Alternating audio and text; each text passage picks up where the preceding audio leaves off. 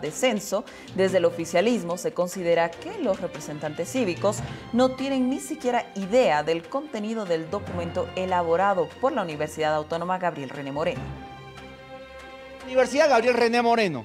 El comité interinstitucional no tiene la obligación de rendirle cuenta a nadie ni tampoco de rendirle examen a nadie. Aquí el que tiene que dar examen es el INE. El que tiene que rendirle cuenta a este país es el gobierno. A gritos, el jefe de la bancada de la agrupación política Creemos, José Carlos Gutiérrez, afirma que los cívicos no tienen por qué dar una explicación para que la población cruceña y boliviana conozca la propuesta respecto al censo, que justifique la insistencia de que este proceso se lleve a cabo en 2023. Y el gobierno es quien obviamente pretende hacerle dar examen a quienes en realidad estamos pidiendo que se cumpla decreto, que se cumpla la ley y que se cumpla, por supuesto, la realización del censo.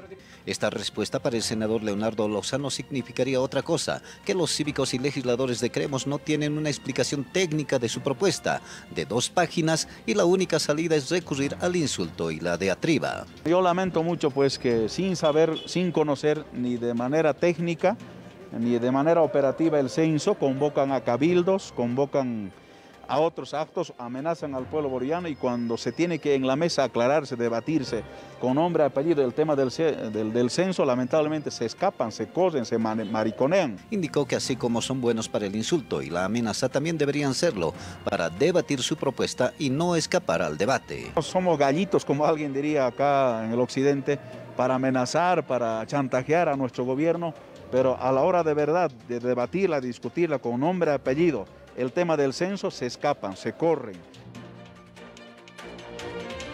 Y advierten que Luis Fernando Camacho busca y pretende sumar apoyo a departamentos además de los